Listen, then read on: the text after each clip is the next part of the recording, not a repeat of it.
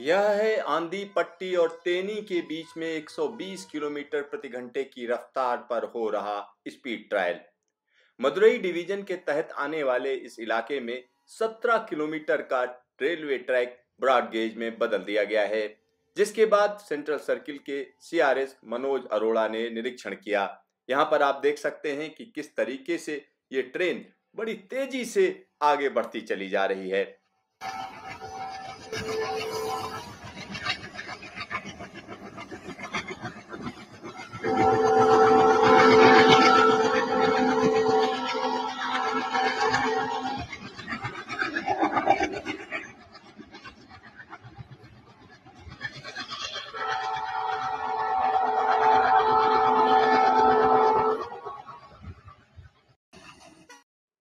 ये है सजा धजा इंजन।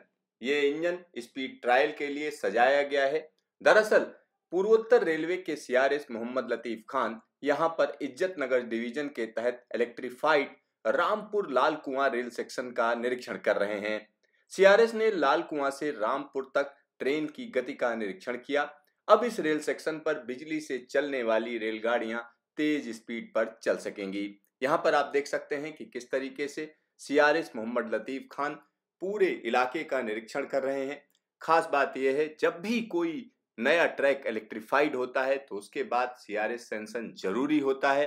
सीआरएस तमाम चीज़ों को देखता है और उसके बाद अपनी राय देता है। सीआरएस रिपोर्ट के बाद इस पूरे सेक्शन को ओपन कर दिया जाता है।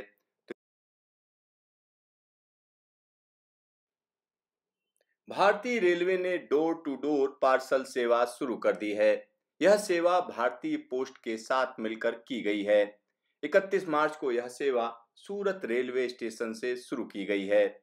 आने वाले दिनों में देश के दूसरे रेलवे स्टेशनों से इस सेवा को तेज़ी से शुरू कर दिया जाएगा। इस सेवा का नाम रेल पोस्ट गतिशक्ति एक्सप्रेस रखा गया है।